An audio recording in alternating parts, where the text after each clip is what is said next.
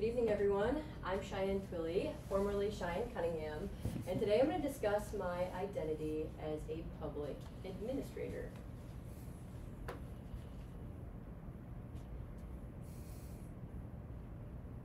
Let me make sure this thing's on. We'll start from the top. my name is Cheyenne Twilley, formerly Cheyenne Cunningham, and today I'm going to discuss my identity as a public administrator. Let's this works.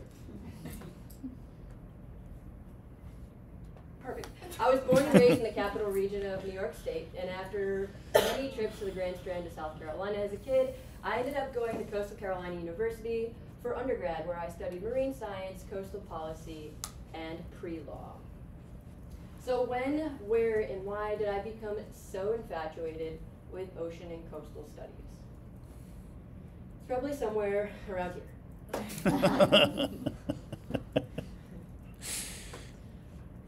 And so after studying uh, shark biology at the Bimini Shark Lab in the Bahamas, interning on Capitol Hill for United States Congress, and TAing climate policy in the Galapagos Islands, I realized truly that coastal policy is my passion and my purpose, so then what?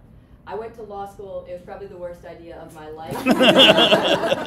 and so I realized I really need to go to graduate school, but that's not why I stayed in Charleston.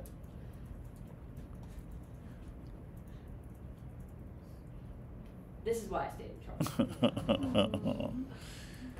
Which led me to the CofC concurrent EVSS MPA program. Um, that was my second best decision I've ever made. so I formed my research around Folly Beach coastal management plans, focusing on facilitating the coordination between knowledge holders and decision makers with respect to coastal policy and management. During this time, I've had an internship with Elko Coastal Consulting, which is also based out of Folly Beach. And it was really this internship along with the MPA program that's taught me how important and powerful effective communication really is. And so really something I'm so grateful for and my biggest takeaway um, is that is the profound amount of respect that I've developed and learned in public administration.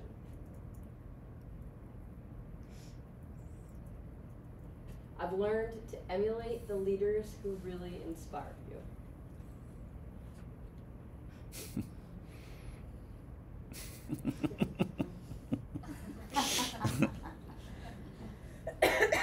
I've developed a deep sense of empathy, right? And so you cannot be a respected or respectful leader if you lack empathy. And so what you see here is a Folly Beach uh, community engagement meeting where we simply listen to stakeholders about sea level rise. So I've learned that public policy is the process by which governments make decisions about how to allocate resources and distribute benefits. And while public policy can be used to address a wide range of issues, I use my skills for coastal resource management. So science to policy, it's being able to interpret and convey a scientific message based on who your audience is.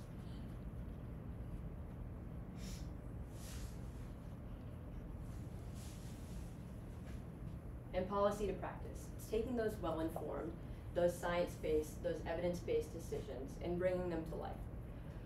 For example, authorizing a beach renourishment project and then executing a beach renourishment project. It's that simple. I've developed incredible communication skills. How can I effectively communicate science to policy or policy to science if I'm not a good boundary spanner, I'm not a good knowledge broker, translator, liaison, intermediary, whatever you want to call it. And so I'm that middleman right here. Oftentimes scientists and decision makers speak very different languages. So what I simply do, what my job is, what my passion is, is to translate for them. And so I've been able, really lucky to tie everything together and evaluate the impact that those middlemen have on Folly Beach coastal management plans.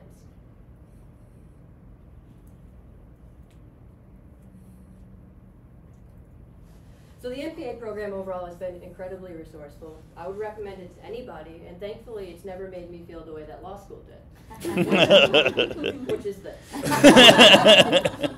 yeah, yeah, would not recommend. Um, so thank you so much, my advisor, Dr. Nowlin, uh, my committee, both of them, uh, the staff and faculty, the invaluable friendships that I've made, my family, my husband who's right there, and um, one last thing, one plead is, for the love of God, somebody please hire me.